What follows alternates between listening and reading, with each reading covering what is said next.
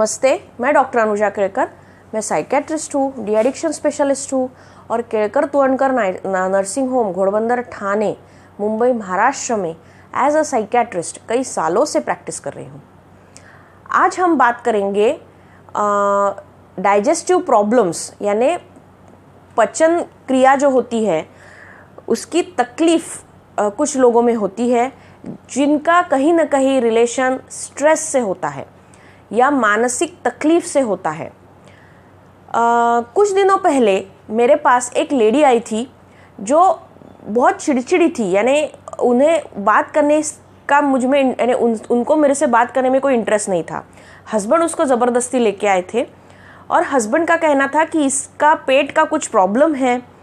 आ, और ये इसको साइकेट्रिस्ट को दिखाने के लिए कहा गया है लेकिन ये रेडी नहीं है साइकेट्रिस्ट को मिलने से। तो इसलिए मैं उसे ज़बरदस्ती लेके आया हूँ। अब जब मैंने लेडी से बात किया तो उन्हें मैंने समझा, बात करने के लिए शुरुआत की तो वो लेडी एकदम से शुरू हो गई कि मैं पागल हूँ क्या? मुझे क्या ज़रूरत है? साइकेट्रिस्ट के पास भेजने की। डॉक्टर्स बिना वजह मुझे साइकेट्रिस्ट के पास भेज रहे हैं और मुझे पागल ठहरा रहे हैं। ऐसा वो ऐसे मोड में थी। फिर मैंने उनको शांत किया, उनसे बात की कि एक्चुअली आप मुझे प्रॉब्लम बताइए। और फिर हम आगे आगे, जैसे मैं बात आपसे करूँगी, मैं उसको समझाऊँगी।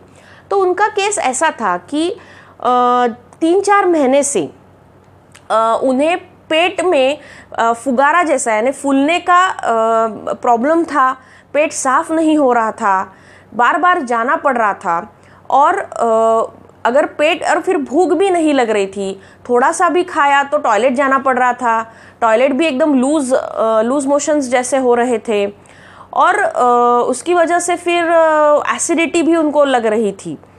तो इसके लिए उन्होंने काफ़ी डॉक्टर्स किए फैमिली फिजिशियन से लेके स्पेशलिस्ट से लेके सुपर स्पेशलिस्ट से लेके, सब डॉक्टर्स हो चुके।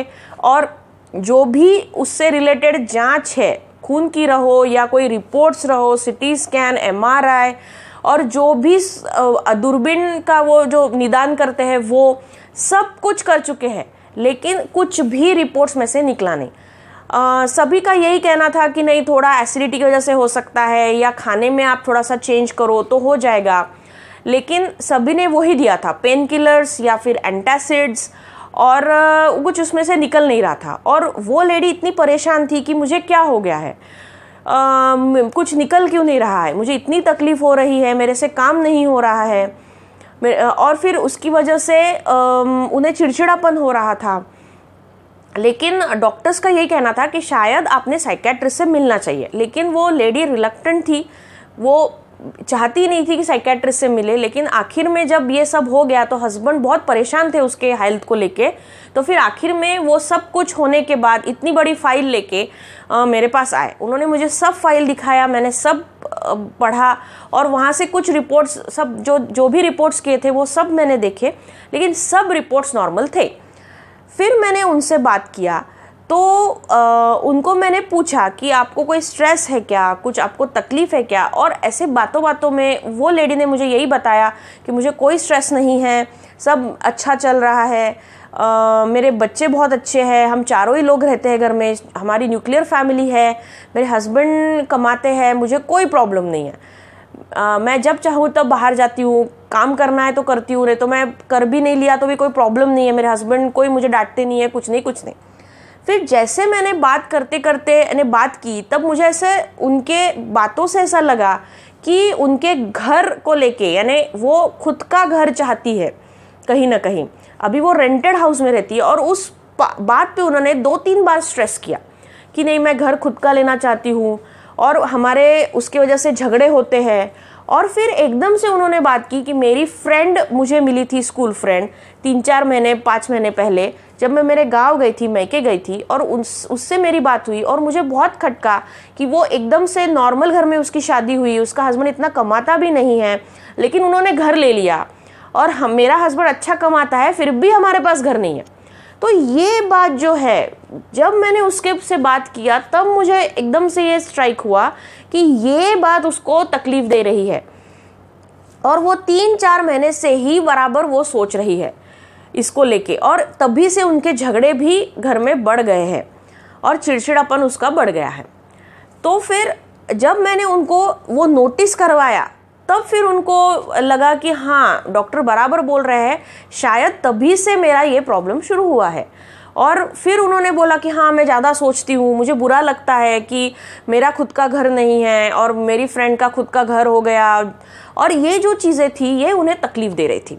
तो देखिए कि वो जो पेट का प्रॉब्लम है, उसका कनेक्शन कहाँ तक है? तो ऐसे काफ़ी स्ट्रेस हमारे आजू बाजू होते रहते हैं, हमारे पे तक, हमको तकलीफ़ देते रहते हैं, लेकिन हम उसे पहचान ही नहीं पाते। स्ट्रेस अलग अलग प्रकार के होते हैं, जैसे फाइनेंशियल स्ट्रेस है फैमिली स्ट्रेस है, घर के रिलेशनशिप प्रॉब्लम्स हैं, उसके स्ट्रेस होते हैं, काम करती है लेडीज़ या जेंट्स किसी को भी ये प्रॉब्लम हो सकती है। ज़रूरी नहीं है कि फीमेल्स को ही हो मेल्स भी इसमें से गुजरते हैं। तो फाइनेंशियल स्ट्रेस तो होता ही है, बाहर के काम है, घर का सब देखना पड़ता है। और ये सब देखते देखते स्ट्रेस काफ़ी लोगों में आ जाता है। ऐसा भी काफ़ी लोगों का होता है कि नेचर ही बहुत सेंसिटिव होता है इमोशनल होता है। छोटी छोटी बात को लेके पकड़ के बैठ जाना, उसके बारे में सोचते रहना और फिर कहीं ना कहीं वो तकलीफ़ देता है। सबकॉन्शियस माइंड में वो फिक्स बैठता है। और ऊपरी, यानी कॉन्शियस माइंड में भले ही हमें लगे कि नहीं, मुझे कोई प्रॉब्लम नहीं, ठीक है, जो चल रहा है, चलने दो। लेकिन वो सब कॉन्शियस माइंड में इतना डीप बैठ जाता है कि उससे, उसकी तकलीफ़ आपको होती है, लेकिन आपको ये समझ में नहीं आता है कि उसकी तकलीफ़ हो रही है। तो इसलिए बात छोटी भी हुई तो भी उसकी तकलीफ़ हो सकती है। तब, और इसमें क्या क्या है कि लक्षण अलग अलग होते हैं। जैसे कि किसका पेट फूलता है किसी किसी को टॉयलेट पास करने में प्रॉब्लम होती है बहुत कॉन्स्टिपेशन होता है किसी किसी को लूज मोशंस होते हैं बार बार जाने की इच्छा होती है ऐसा लगता है पेट साफ़ ही नहीं हुआ है और इसकी वजह से फिर वो प्रेशर ऊपर आता है फिर उनको ऐसा लगता है कि एसिडिटी हो रही है छाती में ऐसा जकड़ा हुआ ऐसा लगता है जलन होता है फिर उसकी वजह से खाने की इच्छा नहीं होती है आ, उल्टी जैसा कंटिन्यूस होते रहता है पूरा सिस्टम डिस्टर्ब हो जाता है। और फिर पेट में दर्द दर्द होते रहता है, फिर वो लोग काम भी ठीक से नहीं कर पाते हैं। पेट साफ़ होने के लिए कभी कॉन्स्टिपेशन होता है तो पेट साफ़ होने के लिए दवाई लेते हैं, कभी लूज मोशंस हुए तो रुकने के लिए दवाई लेते हैं एसिडिटी का दवाई लेते रहते हैं। और इसका टोल कहीं ना कहीं नॉर्मल लाइफ पे पड़ता है, क्योंकि क्या होता है कि ये क्रॉनिक चलते ही रहता है। और फिर आ, उसका घर में भी लोगों कर मैंने घर के लोगों को भी उसका बहुत चिंता होता है कि बापरे क्या हो रहा है इनके साथ? इनको क्या तकलीफ़ है? कुछ निकल नहीं रहा है सब रिपोर्ट्स नॉर्मल है सब कुछ कर चुके हैं लेकिन फिर निकलता क्यों नहीं है इसमें से कुछ? तो फिर उसकी वजह से घर में भी बहुत स्ट्रेस का वातावरण रहता है वो इंसान खुद स्ट्रेस में रहता है वो काम पे कंसंट्रेट नहीं कर पाता मूड उसका अच्छा नहीं रहता कंटिन्यूस उसके दिमाग में टेंशन रहता है कि क्या हुआ है मुझे, क्या तकलीफ़ हो रही है, मेरे साथ ही ऐसा क्यों हो रहा है। तो बात इतनी छोटी सी है, लेकिन उसका बहुत बड़ा ये बन जाता इशू तो इसलिए ये अगर हमने जल्दी से नोटिस कर लिया कि ये प्रॉब्लम और अगर हमें सलाह दे रहे हैं डॉक्टर्स कि ये साइकेट्री प्रॉब्लम है रिपोर्ट सब मेडिकली सब रिपोर्ट्स नॉर्मल है तो ज़रूर हमने साइकेट्रिस्ट को दिखाना चाहिए। उसमें मन में शक रख के या फिर उसके लिए साइकेट्रिस्ट के पास जाना है इसलिए मन को आ, रुकाना नहीं चाहिए क्योंकि जो ज़रूरी है वो करना ज़रूरी है। ऐसा नहीं है कि हम घर में बैठ के इलाज कर सकते हैं उसका। और आप आपकी तरफ़ से कर चुके होते हैं सब कुछ। लेकिन अगर उसमें से कुछ निकल नहीं रहा है तो साइकेट्रिस्ट को दिखाने में कोई लज्जा नहीं है, कोई डर नहीं है, कुछ नहीं है। तो इसलिए आपको प्रॉब्लम हो तो आप दिखाइए। अब जब ये लेडी मेरे पास आई तो मैंने उसको फिर समझाया, उसको कन्विंस किया कि ये प्रॉब्लम कैसा रिलेटेड है। तो वो समझ गई, उसको खुशी भी हुई कि मेरे प्रॉब्लम का कहीं ना कहीं सॉल्यूशन निकला है। जो कि इतने दिनों से, चार छः महीने से चल रहा था, उसे भी पता नहीं था कि ये इसका सोल्यूशन कब निकलेगा। लेकिन मेरे पास जब वो आई, इसका सोल्यूशन निकला, वो बहुत खुश हुई। उसने मेडिसिन लेने के लिए भी वो राज़ी हो गई। और उसको मैंने जब शुरू किया मेडिसिन तो कुछ ही दिनों में उसको फ़र्क नज़र आया। उसके जो स्ट्रेस था, उसका जो प्रॉब्लम था, उसका दिमाग शांत हो गया, चिड़चिड़ापन कम हो गया, पेट की जो तकलीफ़ थी वो कम हो गई। और अभी भी वो मैंने दवाई ले रही है। इसमें क्या होता है कि एंटी डिप्रेसेंट्स अच्छा काम करते हैं एंटी एंग्जाइटी मेडिसिन अच्छा काम करते हैं। और फिर क्या होता है कि स्ट्रेस कम करने के लिए एंटी डिप्रेसेंट्स है, जो इफ़ेक्ट अच्छा देते हैं। बस इतना ही है कि इमीडिएट इफ़ेक्ट नहीं मिलता है। At least ten to fifteen days treatment की ज़रूरत है कंटिन्यूस और फिर धीरे धीरे इफ़ेक्ट दिखता है। और कम अज़ कम छः महीनों तक ये मेडिसिन ट्रीटमेंट कंटिन्यू रखना पड़ता है। इसके साथ साथ साइकोथेरेपी इंडिविजुअल काउंसलिंग जैसे मैंने बोला कि ये लेडी का प्रॉब्लम कुछ और ही था।